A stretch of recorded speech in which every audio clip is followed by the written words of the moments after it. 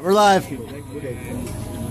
Um, to all our friends and family, I just wanted to make an announcement. Um, I just found out on February 11th, we're going to be in Pasadena at the uh, 9th District Court um, to hear Manuel's case oral argument. So, February 11th, um, we're going to ask everybody to come out and pack the courtroom on my son, Manuel Angel Diaz, um, and we'll see what goes forward on that case. So uh, we'll make an event on it, and just so everyone knows ahead of time, we'll be in Pasadena uh, February 11th. Yes. Thanks. Essential information right there. With that free refill, now it's mentioned.